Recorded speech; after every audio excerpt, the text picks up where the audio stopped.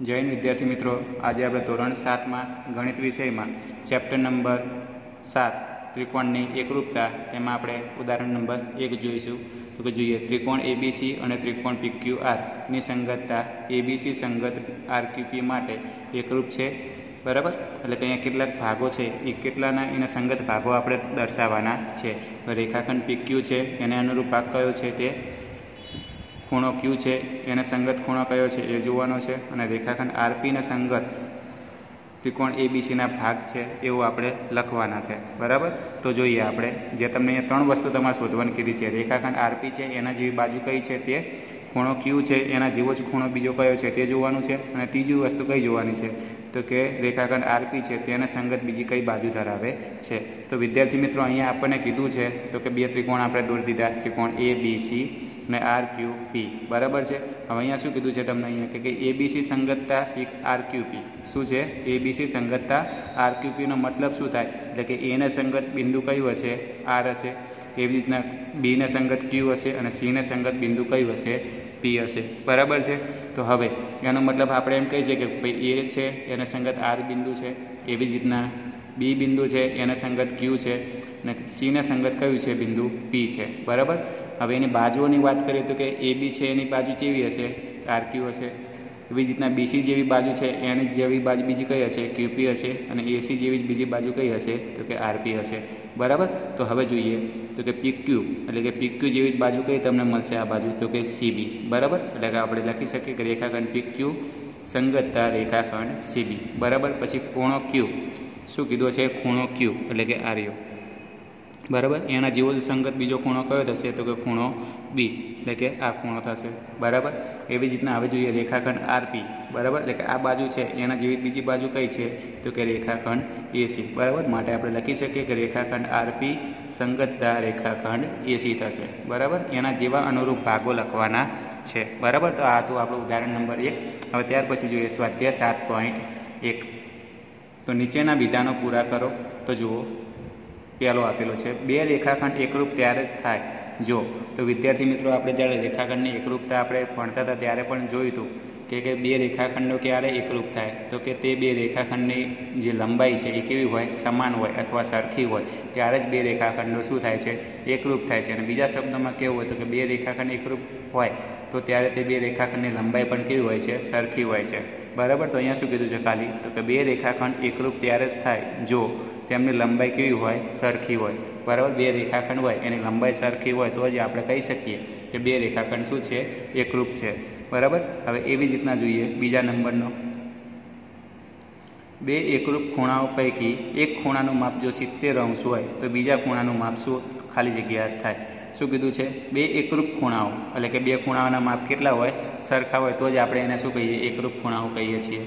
બરાબર? તો એમાંથી જો માની લો કે એક ખૂણાનું માપ કેટલું હોય? સિત્તેર અંશ હોય, તો બીજા ખૂણાનું માપ પણ કેટલું થાય? સિત્તેર અંશ જ થાય ને? શા માટે? કારણ કે અહીંયા આપણને કન્ડિશન જ આપી છે બે ખૂણાઓ બે એકરૂપ ખૂણાઓ કીધું છે. શું કીધું છે? બે એકરૂપ ખૂણાઓ. એટલે કે એ બે એકરૂપ ખૂણા છે. બરાબર? એનો મતલબ કે એક ખૂણાનું માપ સિત્તેર હોય તો બીજાનું પણ કેટલું થાય? સિત્તેર જ થાય. તો જ એકરૂપ કહેવાય ને. બાકી એકરૂપ તો કહેવાય નહીં. માટે આપણે કહી શકીએ, જો કે બીજા ખૂણાનું માપ પણ કેટલું થશે? સિત્તેર અંશ જ થશે. હવે ત્યાર પછી જોઈએ ત્રીજા નંબરમાં કે જ્યારે આપણે ખૂણો એ બરાબર ખૂણો બી એમ લખીએ છીએ, ત્યારે તેનો સાચો અર્થ ખાલી જગ્યા થાય. તો વિદ્યાર્થી મિત્રો, આપણે જાણીએ છીએ કે ખૂણો એ અને ખૂણો બી અહીંયા શું કીધું છે? સરખું છે. તો કે સરખું ક્યારે થાય? ખૂણા બે સરખાઓ, ખૂણા બે આપેલા હોય, એ સરખા ક્યારે થાય? તો કે એક ખૂણાના જ્યારે માપ સરખા હોય. કેવા? બે ખૂણાના માપ સરખા હોય ત્યારે તે બે ખૂણાઓ શું થાય છે? સરખા થાય છે. એટલે કે માપ ખૂણો એ બરાબર શું થશે? માપ ખૂણો બી. એટલે કે ખૂણા એનું માપ અને ખૂણા બીનું માપ બંને કેવું હોય? સરખું હોય ત્યારે બે ખૂણાઓ સરખા કહેવાય છે. બરાબર? આ એનો સાચો અર્થ હતો. હવે ત્યાર પછી જોઈએ આગળ. હવે જોઈએ ક્વેશ્ચન બે.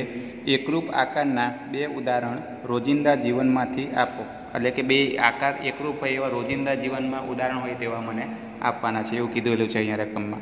તો જોઈએ, પહેલું ઉદાહરણ છે, ધોરણ સાતની ગણિતની ચોપડીઓ. બરાબર છે? બધી ધોરણ સાતની જે ગણિતની જે ચોપડીઓ, બધાનો આકાર અને જેનું માપ છે, બધું કેવું હોય છે? એક એક જ હોય છે. માટે તેને શું કહેવાય?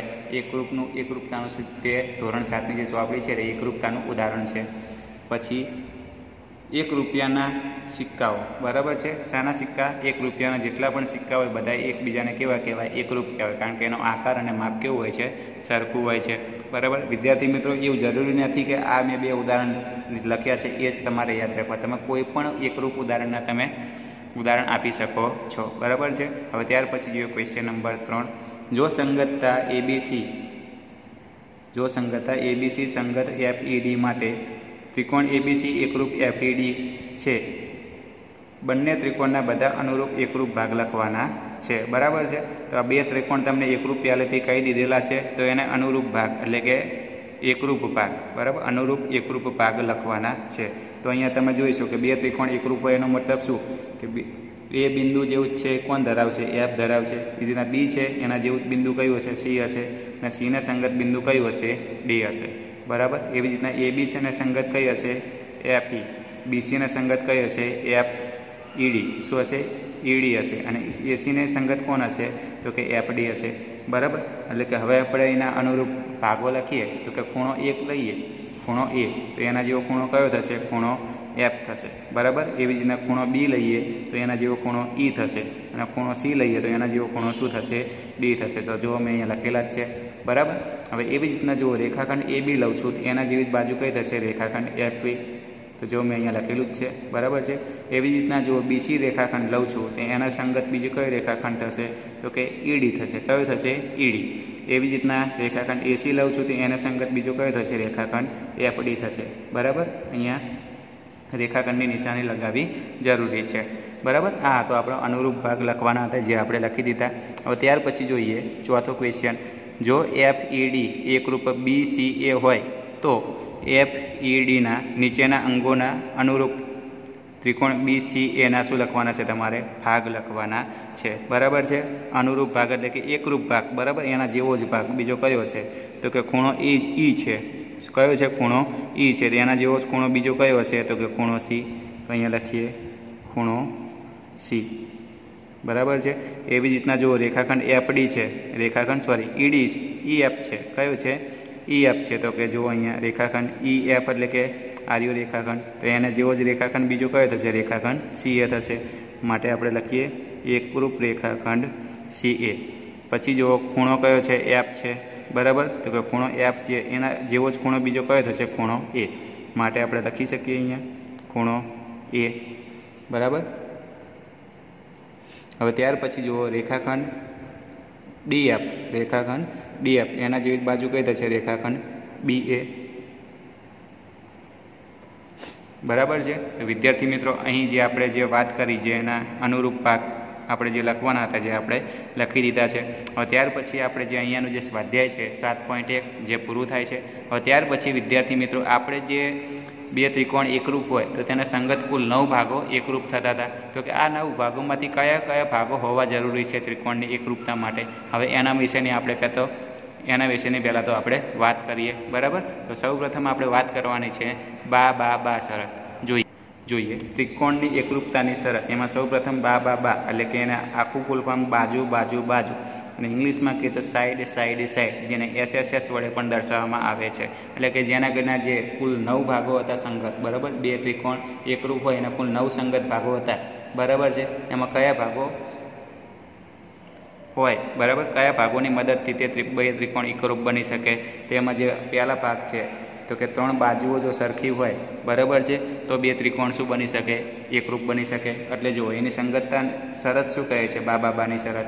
તો જુઓ, જો આપેલી સંગતતા માટે એક ત્રિકોણની ત્રણ બાજુ, બીજા ત્રિકોણને અનુરૂપ બાજુ સાથે સરખી હોય, તો તે ત્રિકોણ કેવા કહેવાય? એકરૂપ કહેવાય. એટલે કે પહેલા ત્રિકોણની જે ત્રણ બાજુઓ છે, એ બી બીસી અને એસી બરાબર? એ જે માપ છે તે બીજા ત્રિકોણ, એટલે કે ત્રિકોણ પી ક્યુ આર ને જે બાજુઓ છે, એની સાથે કેવી હોય? સરખી હોય, બરાબર? એટલે કે જે આ ત્રણ બાજુઓનું માપ છે, એટલું જ માપ કોનું હશે? આ ત્રણ બાજુઓનું હશે, એમ કહેવા માગે છે સાદી ભાષામાં.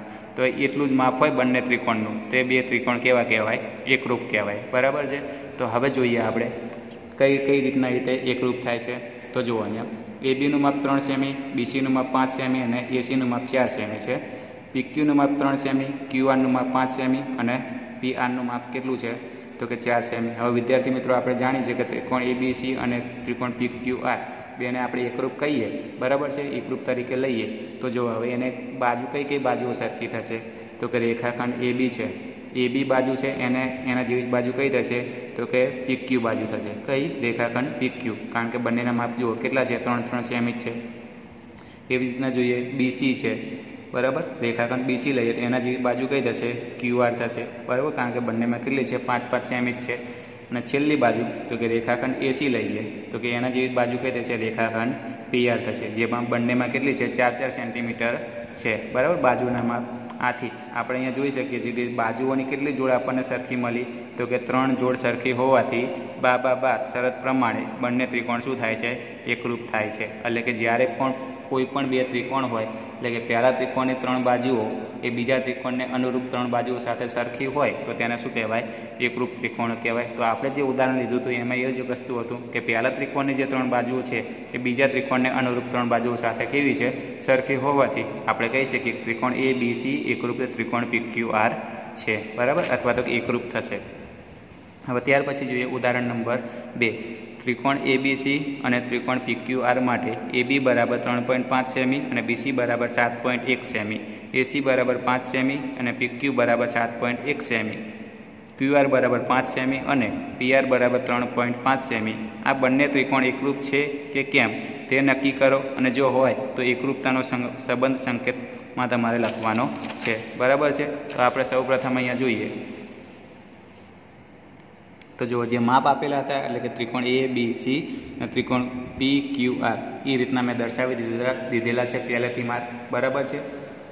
હવે શું કરવાનું છે? આ બે ત્રિકોણ એકરૂપ છે કે નહીં તે નક્કી કરવાનું છે. તો આપણે બા બા બા, કારણ કે અહીંયા ફક્ત ખૂણા, બાજુઓના જ માપ આપેલા છે, ખૂણાઓના બાજુ માપ આપેલા નથી. તો બાજુઓના આધારે જ આપણે ત્રિકોણની એકરૂપતા નક્કી કરીશું. તો જુઓ, અહીંયા એ બી બાજુનું માપ છે કેટલું છે? ત્રણ પોઈન્ટ પાંચ સેમી છે. તો કે હવે ત્રણ બીજા ત્રિકોણમાં તમે જોશો કે ત્રણ પોઈન્ટ પાંચ સેમી ધરાવતી બાજુ કઈ છે? તો કે પીઆર બરાબર? એનો મતલબ એમ કે એ બી જેટલી જેટલું માપ છે એ કોનું છે? પીઆરનું છે. એટલે કે બંને કેવી થશે? બંને બાજુ કેવી થશે? સરખી થાય. આથી આપણે લખી શકીએ A B is equal to PR શા માટે? કારણ કે બંને કેટલી છે? ત્રણ ત્રણ સેમીની જ છે. એવી રીતના બીસી છે બાજુ. એનું માપ સાત પોઈન્ટ એક સેમી છે. તો કે પીક્યુનું માપ છે કેટલું છે? સાત પોઈન્ટ એક સેમી. એટલે કે બંને બાજુનું માપ કેવું છે? સરખું છે. માટે આપણે કહી શકીએ કે બીસી ઇઝ ઇક્વલ ટુ શું થશે? પીક્યુ જો મેં લખ્યું છે BC is equal to PQ શા માટે? કારણ કે બંનેનું માપ કેટલું છે? સાત પોઈન્ટ એક સેમી છે. હવે એવી જ રીતના જોઈએ. એસી એસીનું માપ કેટલું છે? પાંચ સેમી. બરાબર? તો અહીંયા જોઈશો તો કે ક્યુપીનું ક્યુ આરનું માપન કેટલું છે? પાંચ સેમી. એટલે કે બંનેની બાજુનું માપન કેવું છે? સરખું છે. એટલે કે અહીંયા પાંચ સેમી થશે. બરાબર? એટલે કે AC is equal to Q R is equal to પાંચ સેમી. બરાબર? તો વિદ્યાર્થી મિત્રો, અહીંયા તમે જોઈ શકો છો કે પહેલા ત્રિકોણની જે ત્રણ બાજુઓ છે, એના જેવી જ બીજા ત્રિકોણને અનુરૂપ સાથે કેવી હોય છે? સરખી છે. પહેલા ત્રિકોણની ત્રણ બાજુઓ, એ બીજા ત્રિકોણને અનુરૂપ ત્રણ બાજુઓ સાથે કેવી મળે છે? સરખી મળી આવે છે. આથી આપણે કહી શકીએ કે એકરૂપતાની શરત, બા બા બા શરત પ્રમાણે બંને ત્રિકોણ કેવા થશે? એકરૂપ થશે. બરાબર છે? તો આપણે કહી શકીએ કે હવે એકરૂપ થાયનો મતલબ શું? બંને ત્રિકોણ એકરૂપ થાયનો મતલબ શું? તો કે બિંદુ એ છે, બરાબર? એના જેવું બિંદુ કયું હશે? બિંદુ આર થશે. બરાબર? એવી જ રીતના બિંદુ બી છે, એના જેવું બિંદુ કયું થશે? પી થશે. અને સી જેવું કયું બિંદુ થશે? ક્યુ થશે. બરાબર?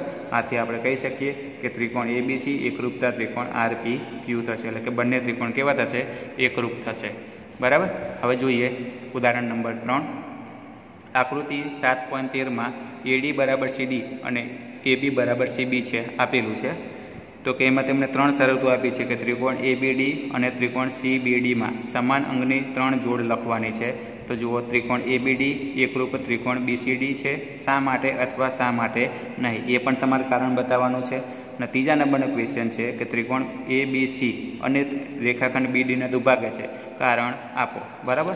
તો હવે જોઈએ આપણે દરેકે દરેક જે પ્રશ્ન છે એનું સોલ્યુશન તો જોઈએ ત્રિકોણ એ બીડી અને ત્રિકોણ સી બીડીમાં સમાન અંગોની તમે ત્રણ ત્રણ જોડ લખવાની છે. બરાબર? તો એમાં જોઈએ તો કે જુઓ, રેખાખંડ એડી અને એના જેવી જ બાજુ કઈ છે? રેખાખંડ સીડી કારણ કે જો અહીંયા ઊભા લીટા કરીએ, એનો મતલબ છે કે બંને બાજુ કેવી હશે? સરખી. એટલે કે અહીંયા એ બી બરાબર સીબી જે તમને રકમમાં આપેલું છે. એટલે કે પક્ષ છે. બરાબર? હવે એવી જ રીતના જોઈએ તો કે એ બી જેવી બાજુ ધરાવે છે, એવી કઈ બીજી બાજુ છે? તો કે સીબી એટલે કે આ બે બાજુ પણ કેવી છે? સરખી છે. એટલે કે એડી બરાબર સીડી એ પણ પક્ષમાં આપેલું છે, એટલે કે રકમમાં આપેલું છે. બરાબર? અને બીડી આ બંને ત્રિકોણ કયા? એ, બી, ડી અને બીજો કયો ત્રિકોણ? તો કે બી, સી, ડી. બંને ત્રિકોણમાં તમે જોશો તો કે આ રીત કઈ? તો કે બીડી બાજુ છે, બંનેમાં કેવી છે? સામાન્ય છે. માટે અહીંયા લખેલું જ છે, જુઓ કે BD is equal to BD. એટલે કે બંનેમાં કેવી છે? સામાન્ય બાજુ છે. બંનેમાં, બંને ત્રિકોણમાં આવે છે બરાબર? બાજુ કઈ? તો કે બીડી. માટે તે શું થશે? સામાન્ય થશે. બરાબર? તો એની ત્રણ જોડ લખવાની હતી તો આપણે લખી દીધી. હવે જોઈએ. ત્રિકોણ એ બીડી એકરૂપ ત્રિકોણ સીબીડી છે. શા માટે અથવા શા માટે નહીં? બરાબર? શું કીધું છે? ત્રિકોણ એ બી ડી બરાબર? ને બીજો કયો? તો કે સી બી ડી બરાબર? તે કેવા છે? સરખા છે. શા માટે? તો કે આપણે જ્યાં હાલત જોયું કે એની બાજુઓને આધારે આપણે નક્કી કરી શકીએ છીએ કે બંને ત્રિકોણ કેવા છે? એકરૂપ છે. શા માટે? કારણ કે જોઈએ તો કે એ બી ડી બરાબર? કે આ બાજુ ને એક આ બાજુ બરાબર? અને સી બી ડી આ બીજા ત્રિકોણમાં, આ બાજુ આ બાજુ છે. એ બંને કેવી થાય છે? સરખી થાય છે? એટલે કે બે જોડ સરખી થાય છે અને ત્રીજી જોડ કઈ સરખી થાય છે? તો કે રેખાખંડ બીડી વાળી, જે બંનેમાં કોમન આવે છે. બરાબર? એટલે કે ત્રણ બાજુઓ છે. ત્રણ બાજુઓની જોડ કેવી થાય છે? સરખી થાય છે. માટે આપણે કહી શકીએ કે બાબાબા શરત પ્રમાણે ત્રિકોણ એ બીડી એકરૂપ ત્રિકોણ સી બીડી છે. બરાબર? કઈ શરત પ્રમાણે? તો કે ત્રિકોણ બાબાબા શરત પ્રમાણે. બરાબર છે? હવે એવી જ રીતના જોઈએ આપણે. તો કે ત્રિકોણ સોરી ખૂણો એ બીડીને રેખાખંડ બીડી દુભાગે છે. કારણ આપો. બરાબર? શું કીધું છે? કે ત્રિકોણ એબીસીને રેખાખંડ બીડી દુભાગે છે. કારણ આપો. એટલે કે ત્રિકોણ કયો છે? એ બી ને સી બરાબર છે? એને શું કરે છે? ત્રિકોણ ત્રિકોણ એ બી સી શું કરે છે? ત્રિકોણ દુભાગે છે. દુભાગે છે એનો મતલબ શું? કે બે ત્રિકોણમાં શું કરે છે? વિભાજન કરે છે. શું કરે છે? બે ત્રિકોણમાં વિભાજન કરે છે. અને વિભાજન થતાં શું થાય છે? તો કે ત્રિકોણની એકરૂપતાના અંગો બને છે. શું બને છે? ત્રિકોણના એકરૂપતાના અંગો બને છે. શા માટે? કારણ કે અહીંથી આપણે બે સરખા પાક કરીએ તો બે ત્રિકોણ બની જવાના. બરાબર? બે ત્રિકોણને અનુરૂપ કેટલીક બાજુઓ મળશે. બરાબર છે? જેમ આપણે જોઈએ કે આ બાજુ ને આ બાજુ સરખી મળી બંને ત્રિકોણમાં. આ બાજુ ને આ બાજુ પણ સરખી મળી અને ત્રીજી બાજુ કઈ મળી? તો કે ત્રિકોણમાં બંને ત્રિકોણમાં જે કોમન છે, એટલે કે બીડી, એ પણ સામાન્ય બને છે. એટલે આપણે કહી શકીએ કે એકરૂપતાના એકરૂપ ત્રિકોણના શું મળે છે? સંગત અંગો પણ મળે છે. માટે આપણે કહી શકીએ કે ત્રિકોણ A BD is equal to ત્રિકોણ સોરી ખૂણો A BD is equal to ખૂણો સી બીડી એ કેવા છે? તો કે એકરૂપ ત્રિકોણના સંગત અંગો છે. બરાબર છે? સંગત અંગો એટલે કે કારણ કે રેખાખંડ બીડી છે. રેખાખંડ બીડી છે તે દુભાગ્ય એટલે કે બે સરખા ત્રિકોણમાં શું થઈ જાય એનું વિભાજન થાય છે. માટે આપણે કહી શકીએ કે આથી બીડી આથી આપણે કહી શકીએ કે રેખાખંડ બીડી એ ખૂણો એ બી સીને શું કરે છે? દુભાગે છે. હવે તમને ખબર પડી ગઈ હશે, દુભાગે એનો મતલબ શું? કે બે સરખા ત્રિકોણમાં શું કરે છે? એને વિભાજન કરે છે. માટે આપણે કહી શકીએ કે ખૂણો ખૂણો એ બીડી અને બીજો ખૂણો કયો? તો કે ખૂણો સી બીડી બંને કેવા થશે? સરખા થશે. બરાબર છે? તો વિદ્યાર્થી મિત્રો, આજે આપણે અહીં બાબા બા સુધી આપણે રાખીશું. નેક્સ્ટ વીડિયો લેક્ચરમાં આપણે આખું બા શરતથી આપણે શરૂઆત કરીશું. થેન્ક યુ વિદ્યાર્થી મિત્રો.